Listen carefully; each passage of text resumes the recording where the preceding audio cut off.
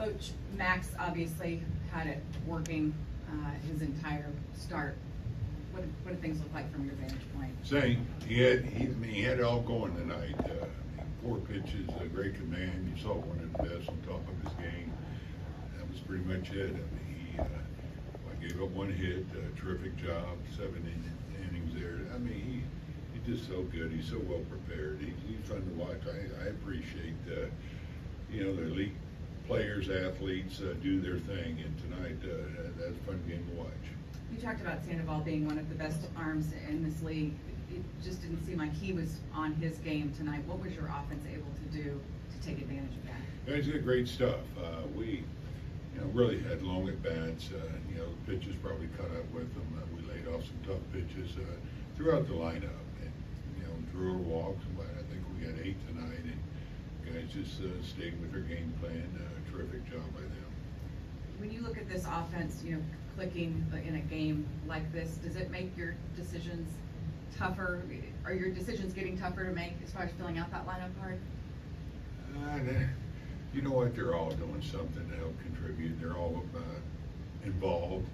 Uh, if you look at the bench, uh, they're all getting playing time right now. So it's it's uh, it's good to have depth. You can uh, sit some guys, you know, give them a break. Uh, you know, it's an easy way to keep them all sharp too. It's going to take uh, this whole team, 26 guys, uh, doing something to help the cause. And so it, it's it's not a tough decision. Uh, it's a fun decision.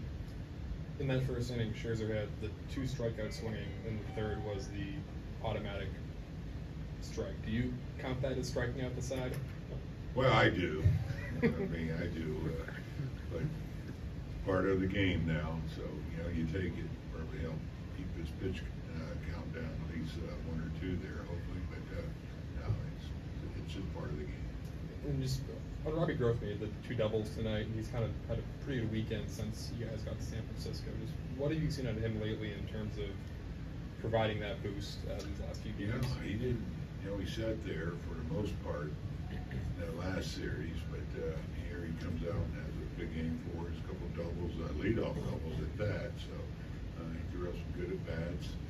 It's nice to have this depth, as we just talked about, you know, does make it, I guess, a little tougher at times, you know, who doesn't play that day, but we have Jankowski back, uh, so it just gives us a deeper bench and makes us a stronger ball club. Just through three starts, it seems like when Max gets a lead, he's even better. What, what does that say about him, that he gets out, gets those shutdown innings and, and just keeps the momentum on your side? Yeah, I, I mean, that's what the good ones do, but you look at the first game, we got behind, You had a rough first inning, and look at that, uh, nice job he did at holding, uh, uh, them at that point to give us a chance to come back. He's, he's gonna battle, no, no matter what, he's gonna do all he can to, uh, you know, to help the team win, that's what he's about.